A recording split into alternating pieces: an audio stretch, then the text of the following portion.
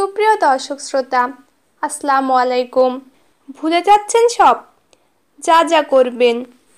ঢাকা, কারোর সঙ্গে কথা শেষ করে সেলফোন ঘাটছিলেন? কল হিস্টোরিতে দেখলেন একটি নাম্বার, রিসিভ কল। দুই চার মিনিট কথাও বলেছেন। হ্যান্ডসেটের নাম্বারটি সেভ নেই বলে মনে করতে পারছেন না, ঠিক কার সঙ্গে কথা বলেছিলেন? অফিসে আসছেন। কারোর ডিস্কে যাওয়ার প্রয়োজন মনে করে উঠে দাঁড়ালেন।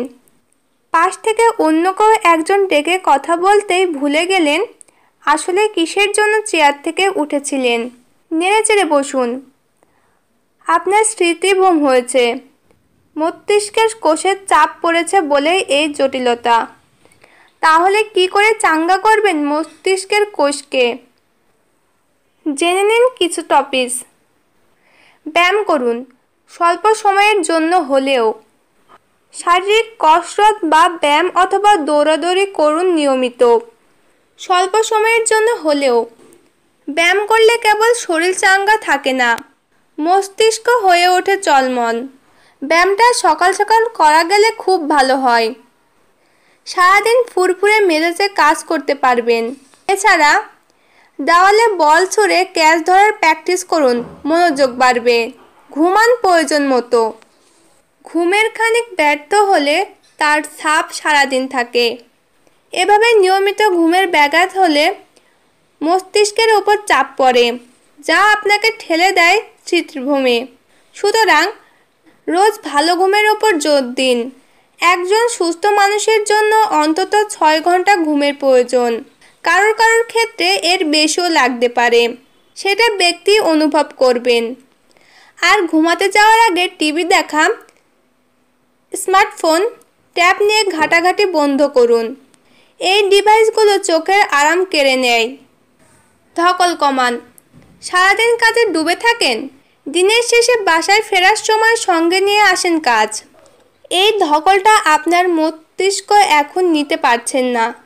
দিনের কাজ দিনে শেষ করে আসা দক্ষ ব্যক্তির পরিচয়। মনীষী আব্দুল কালামের এই বাণী মাথায় রেখে আপনিও দিনের কাজ দিনে করুন। রাতে বাসায় ফিরে পরিবারের সদস্য বা রুমমেটদের সঙ্গে আড্ডাবাজি করুন। মস্তিষ্ককে একটু বিশ্রাম দিন। আর কোনোভাবেই মানসিকভাবে হতাশায় তলিয়ে যাবেন না।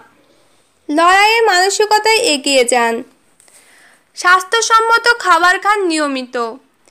প্রথমে খাবার তালিকা থেকে বাদ দিন চিনি বা মিষ্টি জাতীয় খাবার। খাবার তালিকায় যোগ করুন শাকসবজি ও ফলমূল। এর পাশাপাশি ফ্যাটে অ্যাসিড সমৃদ্ধ। সালমন, টুনা ফিশ, আখরোট, সয়াবিন ও পালং শাক, পাবদা, রুই, ইলিশ, খাবারেও নজর দিন। এছাড়াও দুধ, দই, ছানা, পাকা কলা, পেঁপে, পেয়ারা আম, খাবারও খেতে হবে ভরপুর। গ্রিন টিও দারুণ উপকারী।